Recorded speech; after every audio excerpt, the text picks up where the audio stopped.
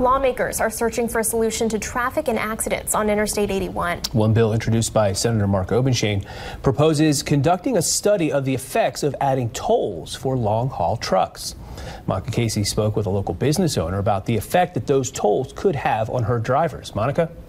The Virginia Department of Transportation has reported a 12% increase in traffic on I 81 around Harrisonburg in the past five years. Delays have also increased by 55%.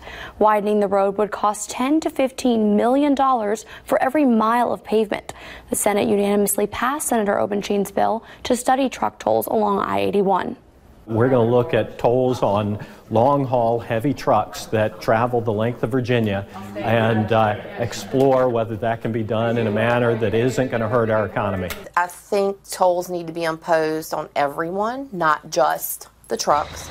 JKC Transport has been in business for 19 years. And we travel the I 81 route every day. Five drivers travel up to 300 miles around Virginia, Maryland, and Pennsylvania. A toll can be anywhere from $48 to $78. Tolls wouldn't just affect truck drivers. That cost is passed down to um, the supplier we're hauling for. So then it will be added to the freight cost and back into the consumer. You have larger trucking companies in there, but the smaller business guys come in and take over what some of the larger ones can't necessarily take care of. Avoiding 81 isn't an option thanks to electronic logging devices that force drivers to use the most time sensitive route.